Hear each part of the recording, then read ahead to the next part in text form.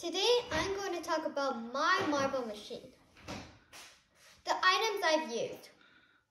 I've used plastic cups, scissors, white glue, paper, popsicle sticks, and beads. So, remember about the YouTube video about the marble machine, right? Well, when I saw it, I saw a little bit few mistakes. So I thought I can magically cure them and it'll work. So, this is a paper ramp. This will first where I put my cup and the beads will lead to.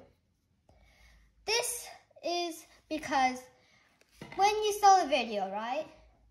The bees jumble into a big group. And then some of them fall down but some of them went inside the big bin. And that's not good. So I thought we could first split it so that go into small groups while they're doing this. This is a popsicle stick ramp.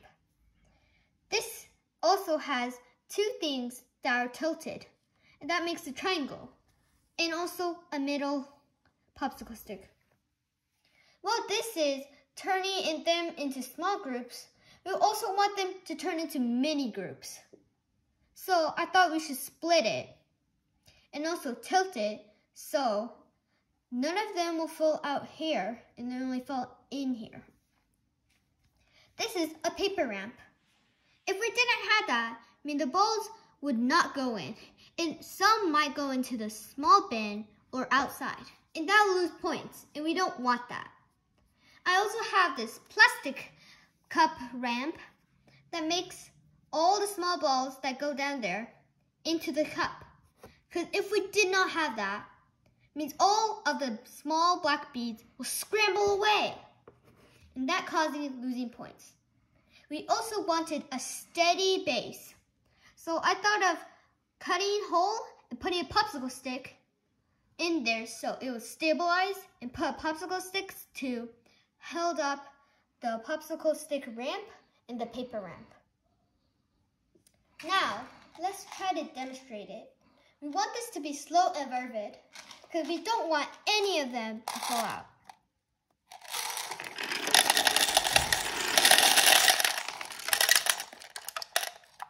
Let's see the results.